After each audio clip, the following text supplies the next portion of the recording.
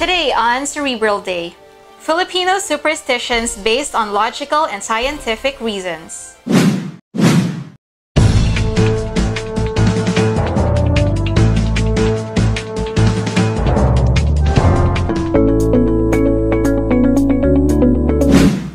Superstitions have long been established as a part of the culture of Filipinos, which have been passed down by our ancestors as safety cards for bad things not to happen.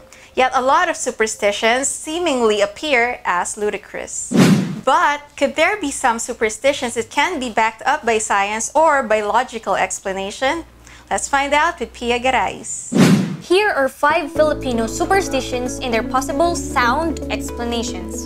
Number one, don't sweep during the night. It means that you're sweeping away the fortune. Possible explanation. Sweeping during the night could be harmful to individuals, especially whose households bear no electricity. It will be difficult for people who clean to see what they remove since it is dark. The thing they could be removing out of the house may be something of value like jewelries or coins for that matter. Number 2. Don't clear the dining table unless everyone has finished eating. If you do, you doom the last single dinner guest to a life of loneliness. Possible explanation. Eating, particularly with the family and even with friends as well as relatives, signal a time sacred for bonding and intimacy. More than enjoying the moment while one is eating with the others, waiting for the other members to finish before leaving the dining table signifies respect and common courtesy. In other words, the person is less likely to feel the loneliness brought by isolation once the other members spend their time to actually wait for the last one to complete his meal. Number 3. When walking with friends, especially at night, always travel as a group of even numbers. If it is an odd number, one of you will be taken away by the spirits to make the number even. Possible explanation. In the case of going out with friends, perhaps it would be ideal to travel as a group of even numbers so that all members have someone as their pair to keep everyone in good company, meaning nobody will be out of place.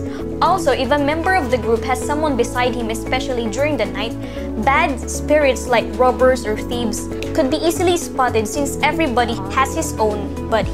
Number 4. A person with a wide forehead is intelligent. Possible explanation. Based on research data from United Kingdom Health Resource Biobank, babies with larger skull tend to be smarter. Furthermore, the scientists who work around this study also discovered that a number of people born with bigger heads perform better in school. Number 5. Having green plants or eating something green will help bring money, better health, and fertility for the people living in the house. Possible explanation. According to research, the benefits of having green plants indoors include providing cleaner air, lowering risk for illness, boosting one's mood, enhancing concentration and memory, and promoting healing in hospitals. While eating something green, vegetables also contribute to the well-being of an individual for vegetables contain vitamins like A, C, E, and K. Pia Garais for Cerebral Day.